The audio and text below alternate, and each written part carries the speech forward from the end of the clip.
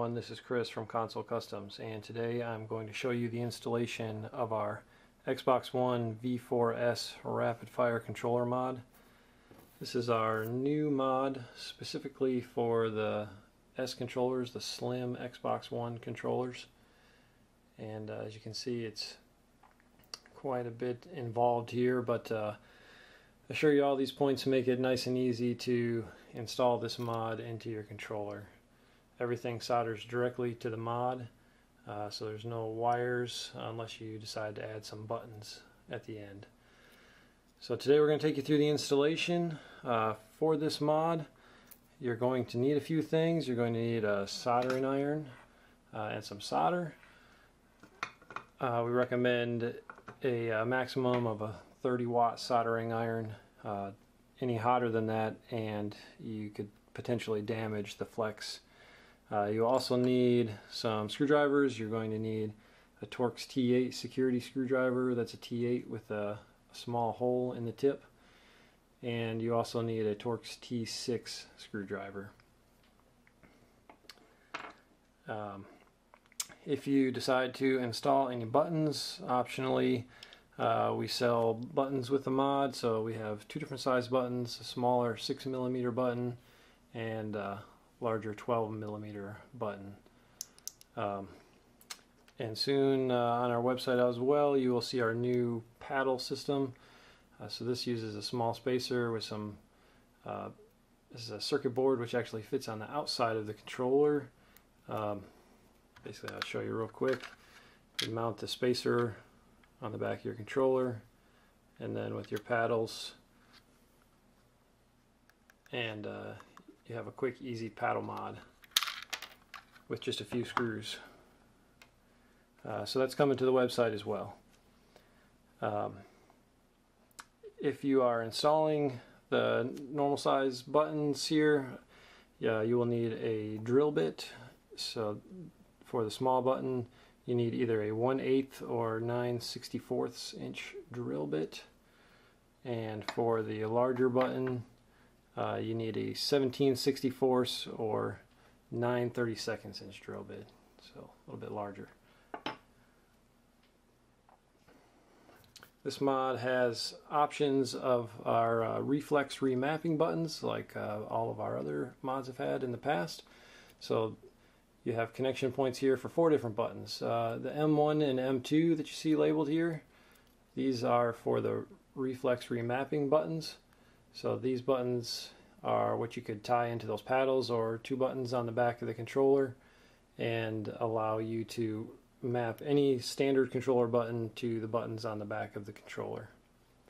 Uh, then you have also um, the RF button and uh, this A or alternate button. The RF button can take the place of left on the D-pad. A lot of features, uh, including the rapid fire turn on by using left on the D-pad plus another button such as left plus the right trigger to turn rapid fire on.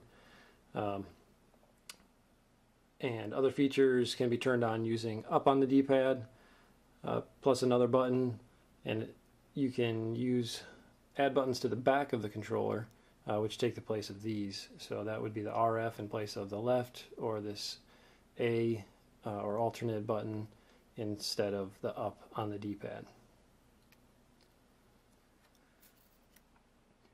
As I mentioned, this mod is only for the S or Slim controllers. Uh, these are the newer controllers from Microsoft. Uh, the easiest way to tell is just you can look at the controller and it's one solid piece up here. If we take a look at an older controller, you can see this kind of a separate piece up here around the, the guide button, home button. So this is an older controller. The mod does not work for these controllers. So you need one of these newer style. It's a nice solid smooth piece up here, easy way to tell if you have the slim controller. So to get started, we need to open this controller. Uh, this one's been opened a few times before. It's one of our test controllers. Has a little hole in the bottom, so just ignore that for now. But we need to take and remove the battery cover and the two side grip covers. These are just held in by several clips. You can use a small pry tool. Uh, really, I just prefer to use my fingernails. It makes quick work of it and you are sure not to scratch anything up. So we can just pop those off.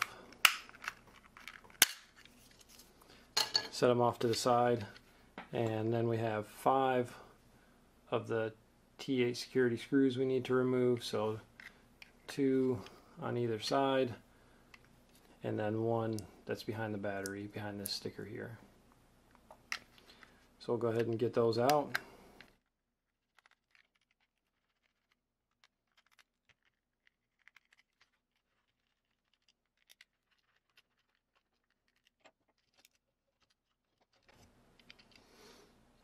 Okay, so we have all our screws out. We've set the back of the case to the side. We can actually just take and remove the board from the front of the case as well. Set that off to the side and I'm also going to remove the thumbsticks.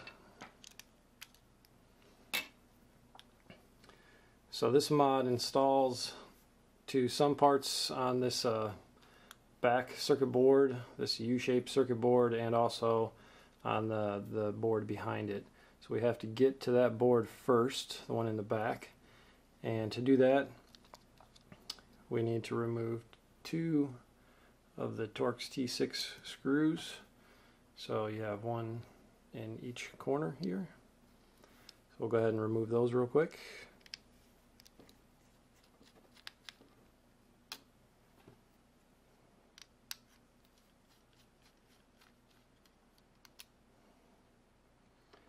Alright, and we also need to remove this small antenna wire here. It's just clipped onto this board, so really you can just kind of get your fingernail underneath it and pop it off there like that. And we'll just move it out of the way for now. So this board will pop off now and just kind of sit loose, but uh, we have the wires for the rumble motors. The uh, easiest thing to do is actually just remove both rumble mo motors from one side. Um, just pay attention to where your wires are going, what colors go where. Um, but we'll just go ahead and take those wires off real quick.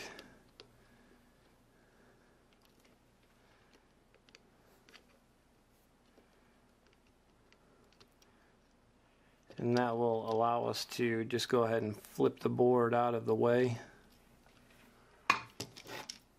You can even take and remove this rumble motor. Just set it off to the side. So now we can just flip this off to the side. Um, and to watch out for the headphone jack. It's basically just loose in there. It's held by pressure against these uh, pads over here. So we'll set that off to the side as well. And now we can get started installing the mod. To install the mod we actually need to start with it flipped over. So you'll see on the back side there are some solder points labeled for some different things. And uh, also, as you can tell, this is a pretty big mod with a lot of different contact points on it. So it's critical to make sure that it's lined up correctly. So what we like to do is just start uh, with the RG point down here, that's the right for the D-pad, and then also up here the VW, uh, which is the view button. So by soldering those two mods uh, locations first, we can get everything lined up and then go ahead and finish the rest of them. So I need to set this in here. Kind of fits snugly up against the uh, the arms for the battery tray here. And I'll just get a nice close up You can see the RG goes to the point that's labeled TP14. So if we line that up, we can kind of see all these other points line up with uh, different solder locations on the board. So I'm going to go ahead and solder the RG and the VW points and then we'll go ahead and take a look, make sure everything else lines up properly.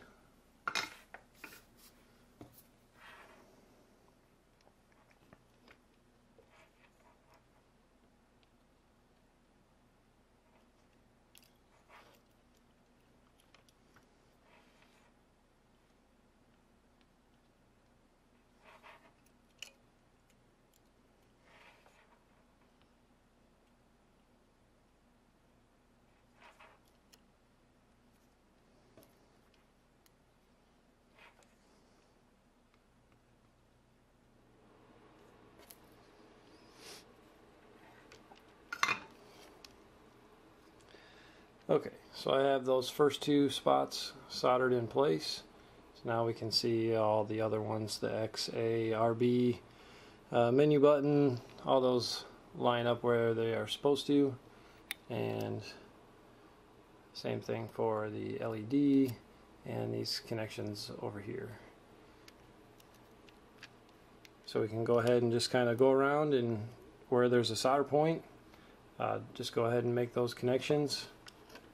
We'll start with all the ones here on the left and, and work our way over.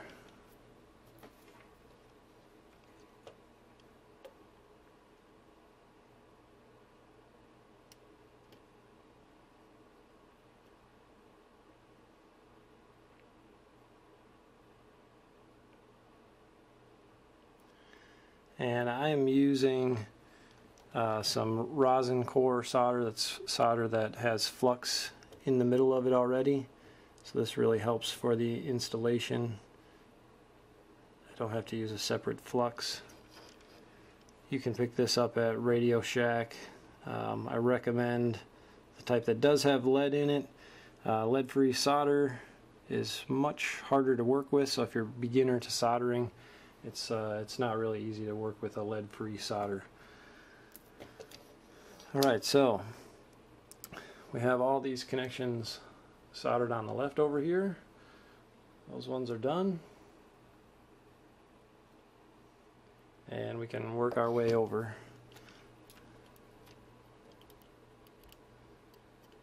So we will get our LED connection soldered here. Move this wire out of the way so I can see a little bit.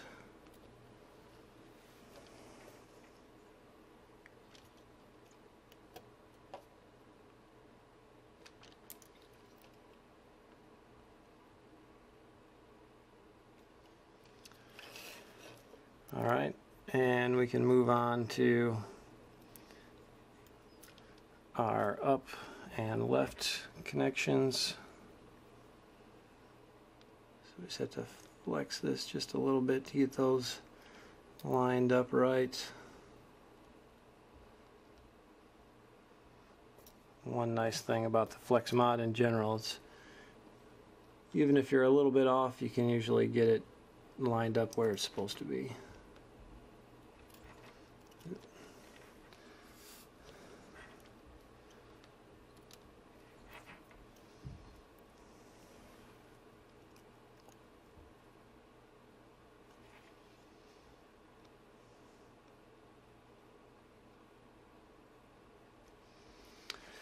All right.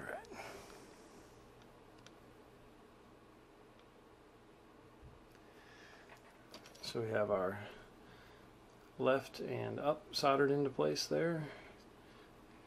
And we just have two more on this backboard, uh, which is our power and LB button connections.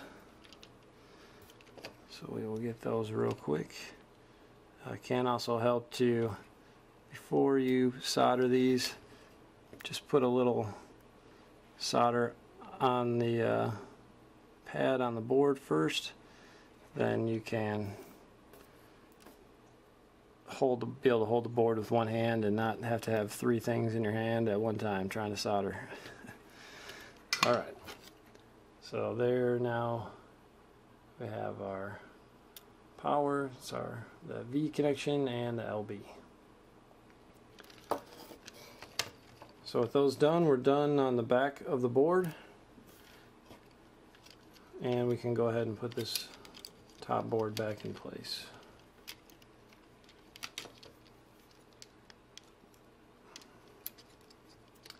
Uh, just make sure your mod's out of the way here. Snap our plug back in, make sure our wires are all in place. We can connect back up the antenna just snaps into place like that and I'm going to go ahead and put the two Torx T6 screws back in as well so we don't forget.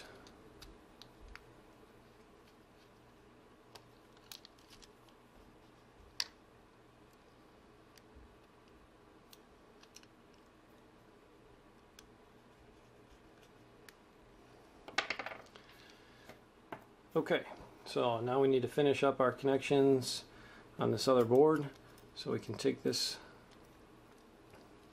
small part of the mod here and this just flips over into this area. So we have three connections over here. Um, one that's kind of underneath the trigger. Basically you are soldering to the bottom leg of this small sensor here. And then uh, next we are soldering to, um, this is actually the left, uh, or I'm sorry, yeah, left thumbstick click.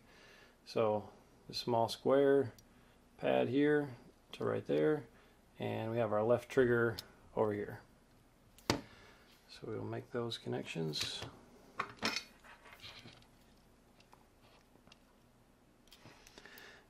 Again, it helps to just add a little solder where you are putting the mod and then we don't have to hold the solder at the same time.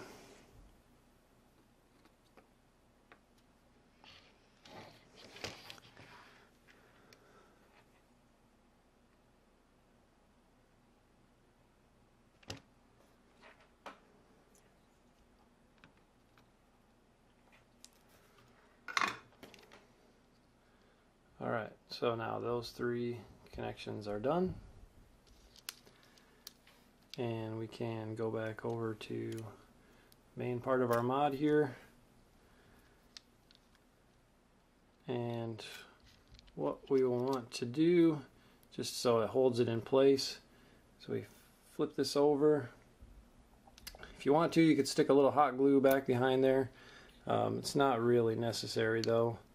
Um, just kind of flex this mod so it lays flat down in there and line up these two holes right here for uh, the other thumbstick click and we'll solder those in place and that is what will hold our mod down as well.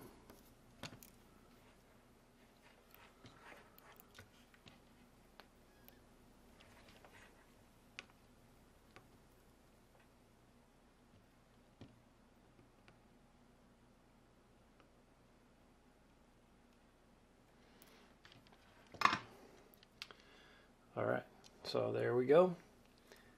And now we have just two more connections over here on this little arm, which is the right trigger and the B button. So you can see those line up nice with the pad. Just need to solder them. And then we are actually finished with a basic installation of this mod.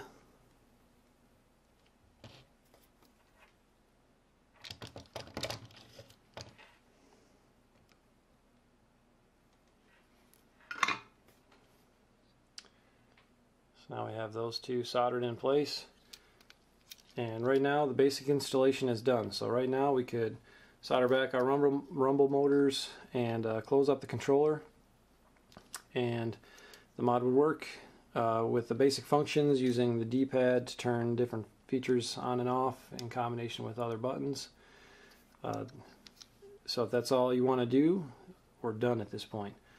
Now if we want to add in some buttons we can go further but uh, we'll first uh, tidy this up by putting our uh, rumble motor connections back on here and go from there.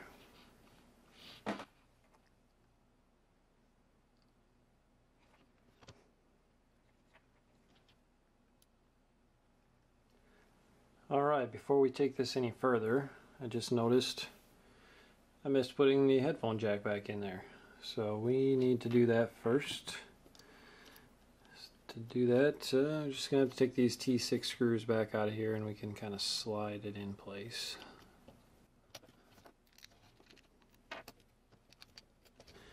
So just pop this back off, plug in there.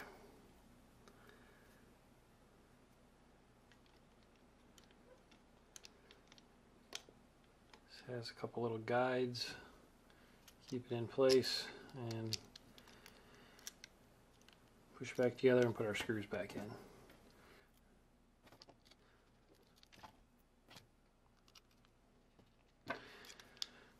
Alright, so Now we can take this a little bit further and go ahead and either install some buttons or paddles. So I think today we'll go ahead and just install one of our new paddles in here so you can see what those look like.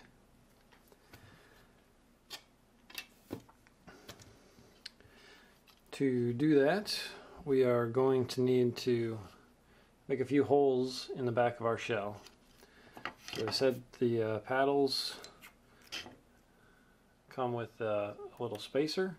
This is a different uh, based on if it's for Xbox One or PS4 controller.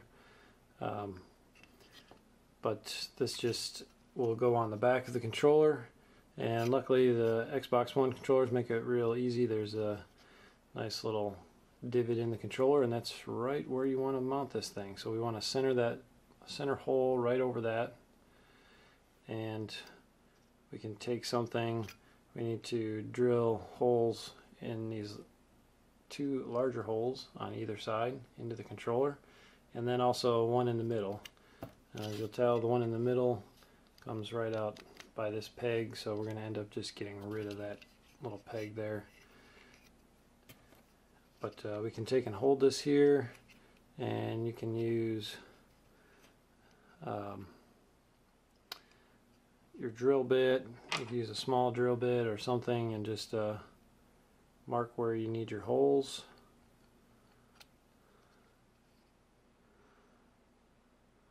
or if you're feeling really confident you could just hold it there and, and drill your holes in place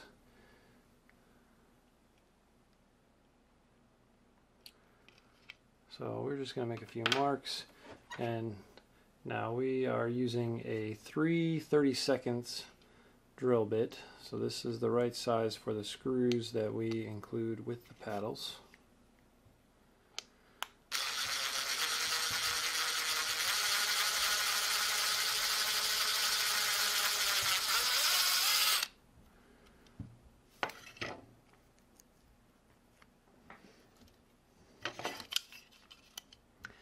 Uh, you will need your own drill and drill bit. We include the screws, but uh, the rest you need to provide.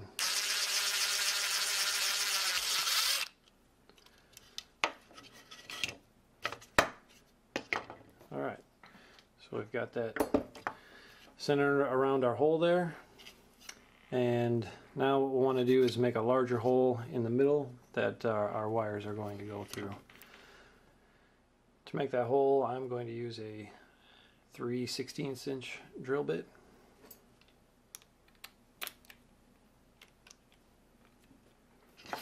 And we'll just drill that right in the center of that little crease there.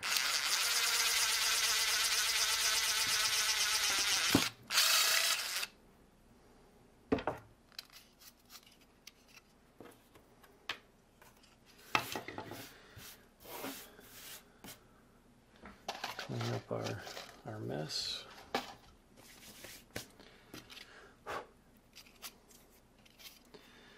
All right, now we can go ahead and screw our spacer into shell. So as I said, the uh, kit includes some screws. These are just regular Phillips head screws.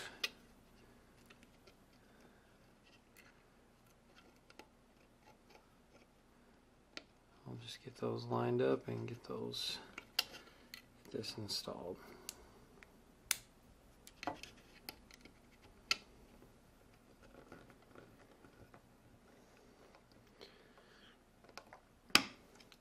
Now you want to make sure we don't over tighten these ones. Uh, we are just drilling, screwing into plastic so can easily strip them out. Just get them snug so that it doesn't pull out.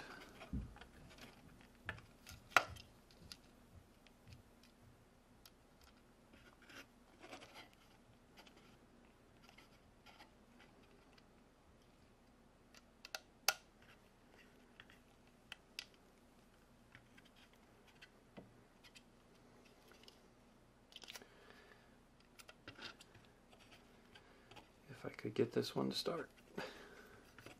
There we go.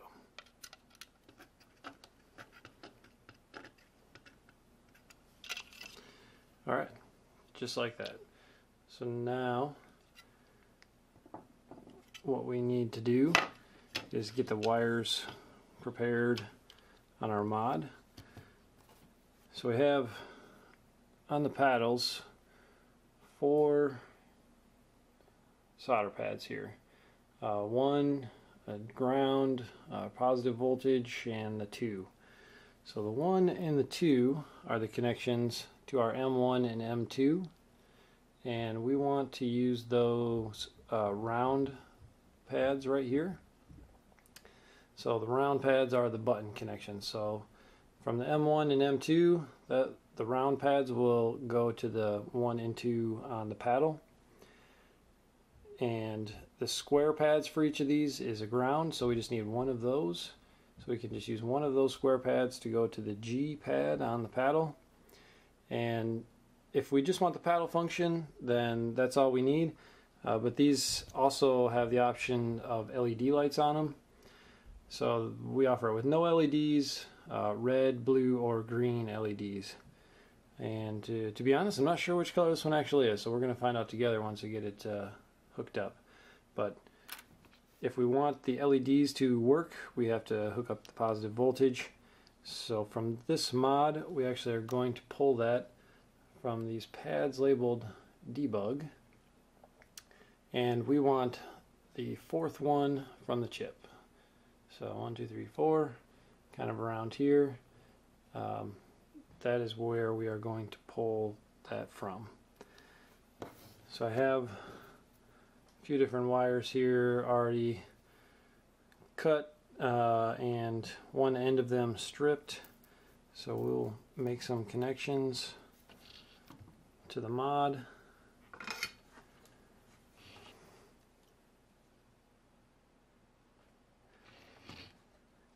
And we can install our paddles. So I just took and tinned those connections that we'll need, those three right there, plus our power from over there.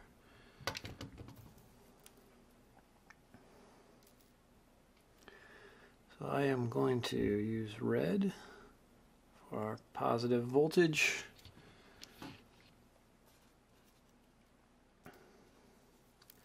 And we will use green for the ground.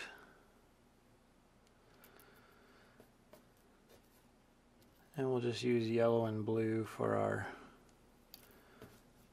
one and two.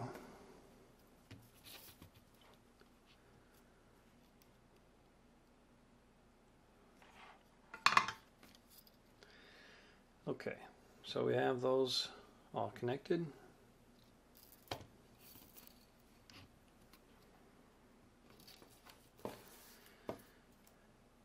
Now, uh, since we're installing the paddles, really we want to just go ahead and close the controller back up.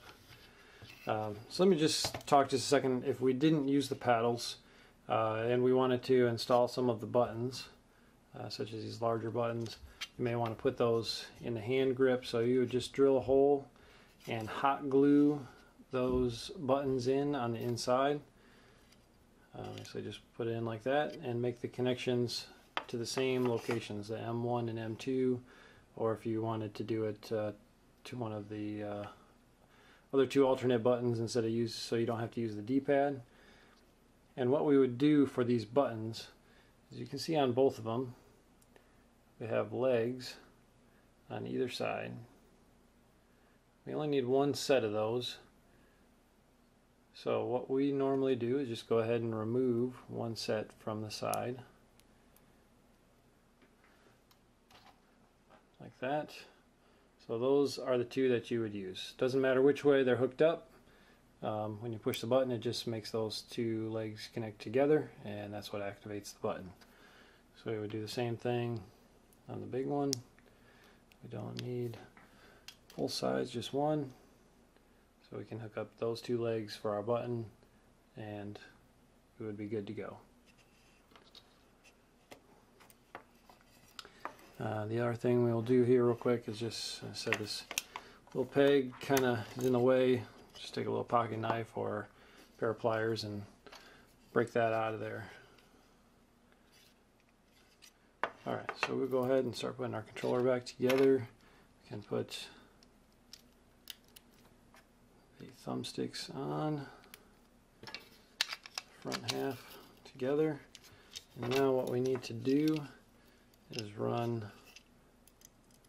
our four wires here through the hole.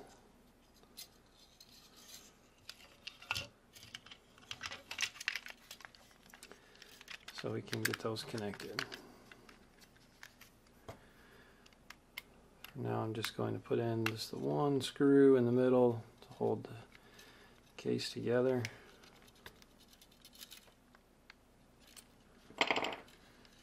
Now these kind of have some play so we'll be able to shove those back in there when we put it on but really we want to try and keep these as short as we can. So I am going to grab a pair of wire cutters and cut those down.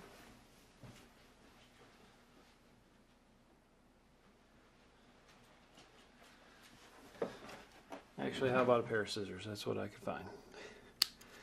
So we'll just trim those so we can make those connections. And we need to strip that wire. This is just a small little 30 gauge wire strippers, 30 gauge wire that we ship with the button sets. So just quick strip a little bit off the end of these wires. And we can work on soldering them to our pads, our paddle. What I will do is just taking 10 each of these connections, basically just adding a little bit of solder to each one.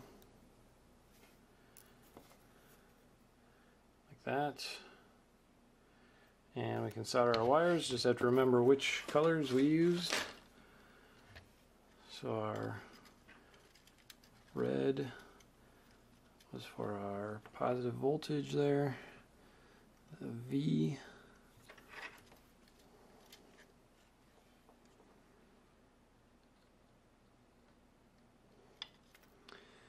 and our ground.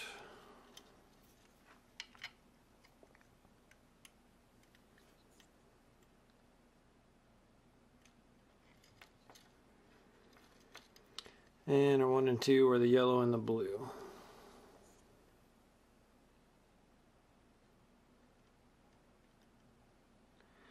So these buttons default to uh, A and B.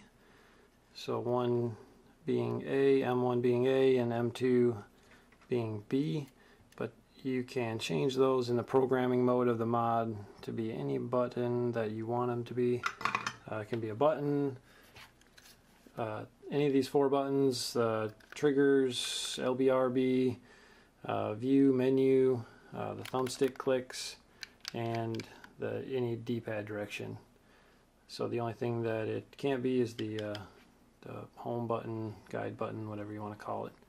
But uh, every other button you can set to these paddles in the programming mode. Alright, so we have our wires all connected here. And now all we need to do is kind of carefully push those back in to the controller.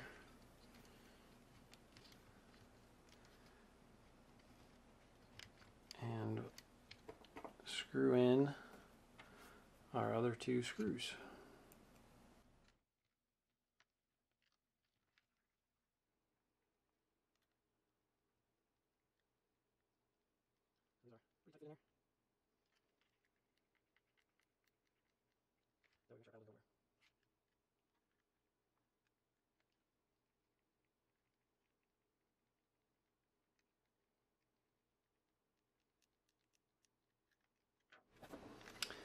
Okay, so now we have our paddle installed. The buttons that are used on there are a nice soft click. So it's uh, it gives a nice, really nice feel to those buttons when they're installed. And uh, we can go ahead and finish uh, putting all the screws back in, but uh, we'll just go ahead and grab some batteries and I can show you what this will look like. Okay, I've got some batteries installed. So now we can see what these paddles look like with the controller on. Alright, so these were the blue LEDs. So that are those are the paddles.